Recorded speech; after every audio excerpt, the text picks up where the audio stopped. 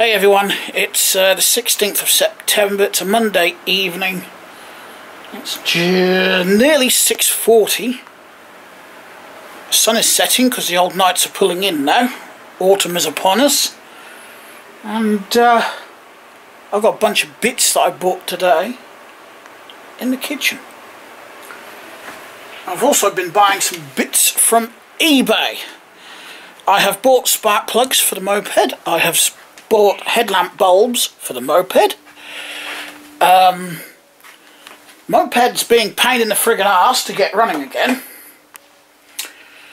Uh, I took the carburetor off because before you'd it would start it will idle fine and as soon as you hit the throttle it wouldn't rev up straight away. It would take time before it hit the high revs, so then it didn't sound good. It would cough and splutter a little bit. So I thought, right, take the carb off, put a new spark plug.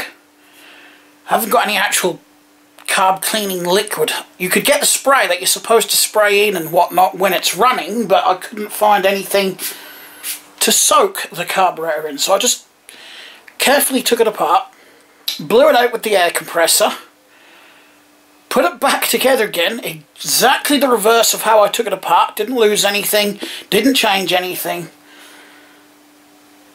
Couldn't get it to start. I got it to sort of cough, but it wouldn't start. Held the throttle open a little bit, got it to start, revved it right up, that revved up beautifully. I thought, yes, I fixed it. Let go of the throttle, died. I've got no idle circuit, so I thought, what the hell? Had idle circuit before, um, so I took the carb off again, gave it a clean out a second time with the air compressor, put it all back together again, exactly the same as I did the first time. Did not change anything, did not adjust any screws or anything. Put it all back together. Now it will start, but it will idle high, and as soon as I hit the throttle, it just bogs out and cuts out. So I've now got the opposite. I've got no throttle now, but I've got idle, high idle. So I have, I gave up with it because I've only got a kickstart so I couldn't be bothered to drag out extension cords and whatnot because I haven't got a battery so I'd have to use my um, battery charger which doubles up as a jump starter. Um, and I really had hurt my ankle kicking that bloody thing over so I gave up for that day and I haven't looked at it since. So yeah it's been a pain in the bum I might put the old spark plug back in it just to see what happens if I can find it. I did leave it on the... Um... No, I may have actually moved it into the workshop. Yeah, I didn't go down to Mum's I was going to, but I got caught up doing a few other things and whatnot. Anyway, so kind of progress on the moped. Um, I just need to get it to run right. That's about the only problem at the moment, other than putting the headlight bulbs in. Then buy a battery, put two new tyres on it. Should go through an MOT. There isn't nothing really wrong with it. Or I could just say assholes to it and just buy another carburetor. I'm going to have a look and see if I can find anything about setting up a carb properly. Um, yeah, because I may have nudged the um, the um, idle screw that adjusts your throttle pin inside the carb and the um, air intake screw. I may have messed that up somehow without realising so I'll, uh, I'll still have a play. We haven't got any further, well actually we have got further with the tractor. I'm going to take this camera down with me tomorrow and show you what we've done with the tractor. Um, it's got two wheels on the front now my stepdad bought brand new wheel. He's bought two brand new front tyres. You see, because of funds, we can only do it bit by bit, so it's quite slow progress. Um, we haven't got a spark at the minute, but we found out we've accidentally put a 6 volt coil on it, not a 12 volt, and we've upgraded it to a 12 volt system, so we made the rookie mistake of assuming that the coil we bought was a 12 volt coil, it's not. Explains why we don't have a spark. Um, I think the firing order is right. We'll find out when we try to fire it up. Um, yeah, we've changed the generator to an alternator. It's got a new ignition switch on it because it didn't have one. Actually, I think about 80% of it was probably missing or knackered when we got it. So it's been pretty much a complete rebuild. We have obtained a couple of rear mudguards. We just got to find the um, 6 inch bolts, four of, to bolt them on. Because the original ones, they were knackered. You'd never ever have gotten those off. They were actually seized in to the holes that they go through on the axle to bolt the fenders on. Um, that took my stepdad hours to actually drill the bolts out and that's after we cut bolt heads off to get the old fenders off. They were just totally rotten. They couldn't be saved. Um, what else? Still got a rough coat of primer on it at the minute just to prevent it from, you know, deteriorating deteriorating with rust any further. Not that it was actually that bad, that chassis, to be honest. We still need the adjust, the adjusting thing for the rear lift arms for the three-point linkage because our one has snapped. We were already trying to see if there was like pressure in the hydraulics, you know, and to see if they will move, and we pushed, or my stepdad pushed down on it, and the, the adjustable link, which is actually there to tilt the three-point linkage like that, so when you've got a plough on the back, you can tilt it at the right angle, wasn't electrical or motorised in those days or hydraulic, you had to do it by hand. um, but yeah, and it, he just pushed down and it just snapped. He just leant on it, he wasn't even putting that much weight on it. But just from age and, you know, general fatigue, it just snapped, so probably not a bad thing because it actually seized up. The, the screw bit that screws in and out had actually seized up and uh, it was bent anyway. So, either way, it would have needed replacing.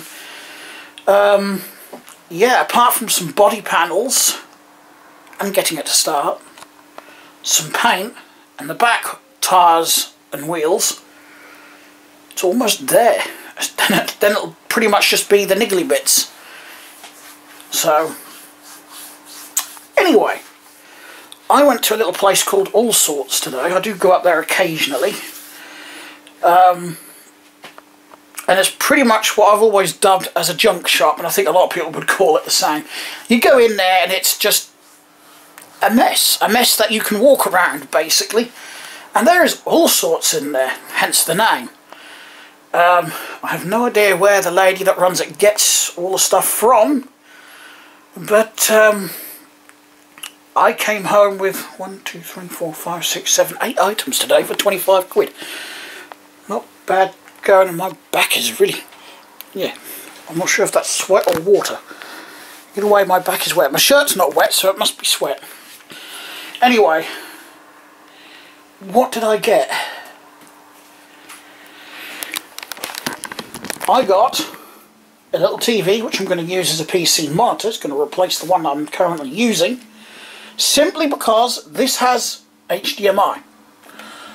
I've been looking for something uh, roughly that size with HDMI on it because my graphics card has that option but I haven't or didn't have at the time a monitor that had HDMI it was only VGA I think that one's VGA in there or it could be DVI um, it's a bit of a bugger because I did actually get another monitor for three quid which is VGA which is about the same size which doesn't matter I suppose I've got a spare um, so yeah like I said that is actually just a little TV. It's got VGA on the back as well.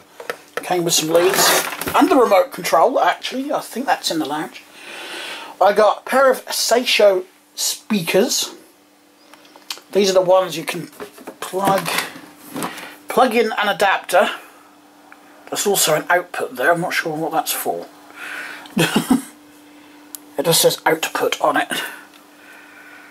Um, but yeah, takes four C-cell batteries, because these, as you can see, are quite large compared to the other ones I've got in the bedroom.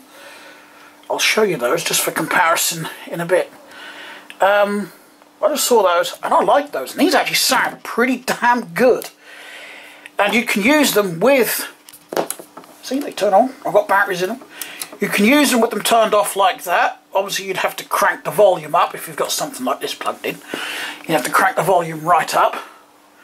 But yeah, they work. They work great actually. They sound pretty good for their age and size. Some drill bits, 50p.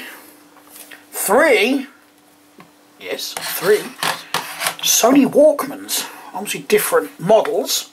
That one's got the built-in FM AM radio. These two, these two don't. But the amazing thing is, all three work. They play tapes fine. Um, I was using some crappy headphones, so the volume was a bit crackly, but I think the volume switches could do with a clean anyway. I've already given the heads a bit of a clean, but yeah, they all play tapes great. Um, I picked that up as well, and I'm not kidding, that is the price tag that was on it. So it's pretty much 20 quid for that and fiver for that. This you're probably thinking, what is it, you know?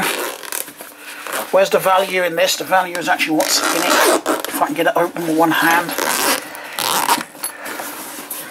Going to change things that are in it though. It's like a little toolkit, see? Got these crappy screwdrivers I absolutely hate. I hate them because I just can't grip them and turn screws. That's why I use my little Rolson one, wherever that's disappeared to. I had it out the other day, so it might be out somewhere. Or it might actually be in the screwdriver drawer. No.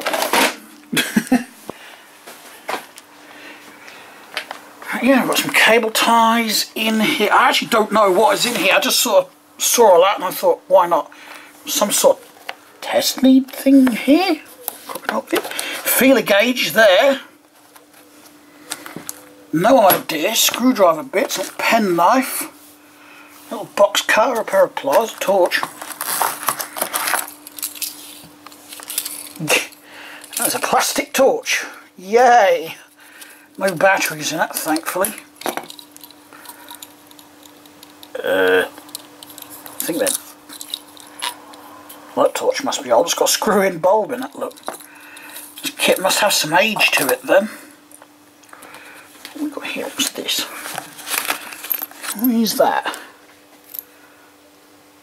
Ah, that is a pressure gauge. I think that is a tyre pressure gauge.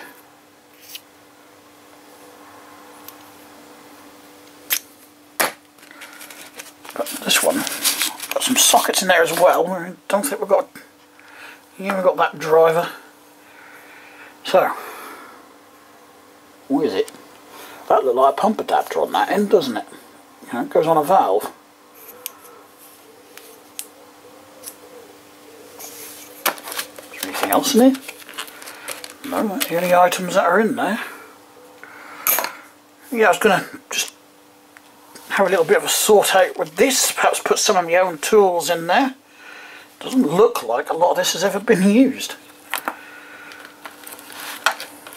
I've got no idea what that is a bunch of them screwdrivers there and another bunch there and another bunch there. I'll get rid of those. They can uh, soddensy off. It's actually great it's got cable ties in because I was needing some of them the other day. Yeah, so I'm happy with that. Also got some other bits on eBay. Like my £1 and 20 pence vintage Miller dynamo light. Um, reflector is gone there, as you can see it's repairable, but it is flaking and it's got a bulb missing. But the rest of this lamp is actually in better condition than the one I've got for a restoration project. So I'm going to use both and make a good one, a nice one, out of a pair. I'm not sure which one I'm actually going to use, because um, my other one has got big, big, big, big, big dent in the top of this chrome ring whereas that one's got a little one in the top there that I should be able to pop out with a screwdriver. But uh, if not I'll just leave them in there and then just uh, change the rings over I hope.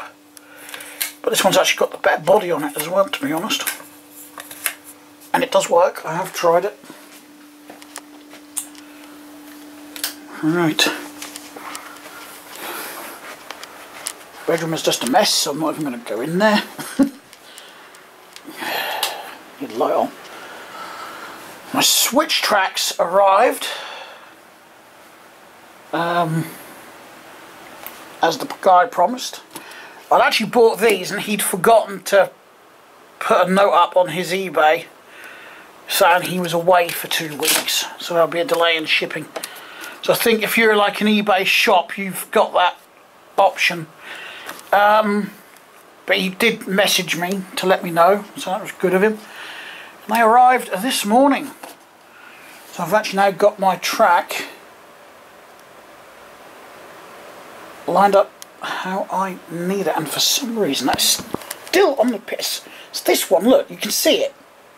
If you follow that down, you can see that track is not running down there straight. For some reason it is on the piss and I don't know why. Hmm.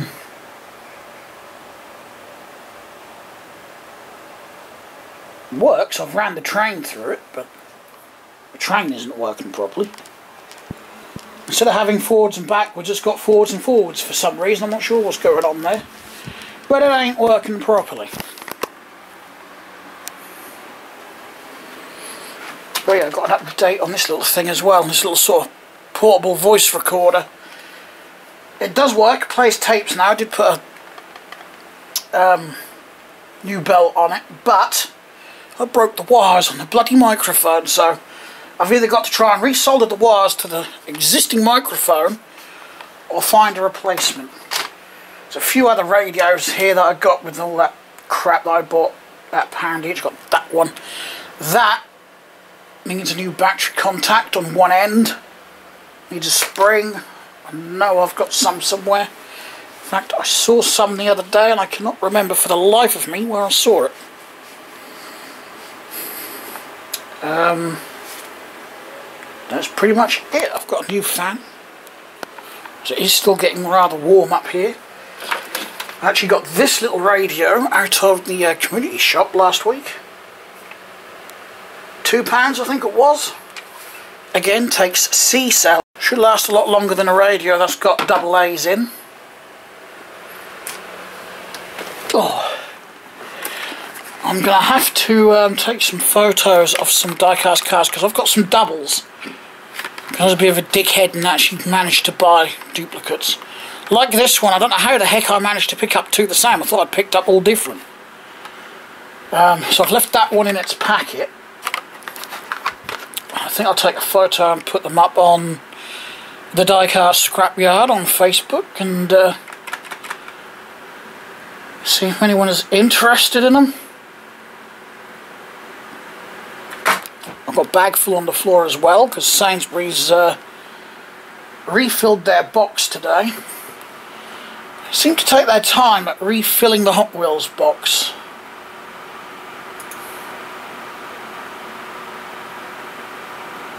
Because uh, it's usually, it gets emptied pretty quick, believe it or not.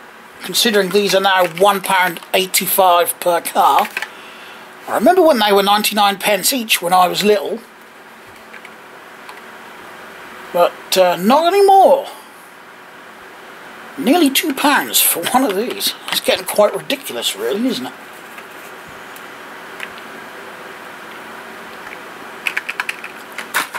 Ah, but I suppose collectors like me are mugs in a way because we still pay it, don't we? Yeah, the price of Lego's gone up over the years and I still pay it, so... Excusez-moi. Oh, there's that screwdriver I was talking about earlier with the changeable tips. I find that one's a lot better for me personally because I've I can grip it. The other ones, if there's a tight screw, I just can't grip the screwdriver and get them undone. Pardon me. this seems to have a bit of a temperamental issue at the minute. It's working fine, but if I connect third hard drive to it, it throws a complete shit fit. And I'm not sure if I have bought a bunch of shitty Seagate drives, all them 500 gigabyte drives, because they're the ones that seem to be causing the issue at the minute. Because earlier I couldn't, I had to shut the computer down with the button because the desktop kept locking up. And I only started doing that when I reconnected the um, third drive. Disconnected it, it's been working fine ever since. So, yeah, I'm not sure if it is just a bunch of crappy drives that some dick at a car boot sale have sold me, or if I have a problem on that specific SATA connector on the motherboard. So what I'm actually going to do at some point is borrow one of the other SATA connectors and plug that hard drive into it. If I get the same issues then I know it's the hard drive. If I don't, well, then the chances are it's the SATA connector on the motherboard. Because I used to get um, some issues with the SATA array on this motherboard before I even put these Seagate drives in. Um, you know, I could turn the computer on 10 mornings in a row absolutely fine and then it would come up saying no operating system found. Unplug any hard drives or drives that do not contain an operating system and try again. I would do that, boom, boot up, shut it down, plug them all back in and it would boot up fine after that. And it could be fine for a week or two and then it'll do the same thing. Um, but uh, yeah, it's been a right pain in the backside lately. It seems to be getting worse. So I'm actually wondering if it is actually these Seagate hard drives or if there is actually an issue on that specific SATA connector. Because all the others seem to be working absolutely fine. It's just when I plug one in on that one, I get problems. And you can't tell me, you know, that out of four or five hard drives, they're all dodgy. I know Seagate's not the best, but I haven't got a machine set up that I can chuck them on to double check them either. Hmm. Methinks I might have to um, make one. Perhaps that free computer I got, perhaps that's what I can turn that into. The, uh, the test rig to throw video cards in and whatnot just to make sure they work. That actually sounds like a plan. Could do that later actually, it just needs Windows 10 chucking on it or something like that. Anywho, I'm going to shut this vlog down. So, uh, thanks a lot for watching. I'll talk to you all again soon. Bye.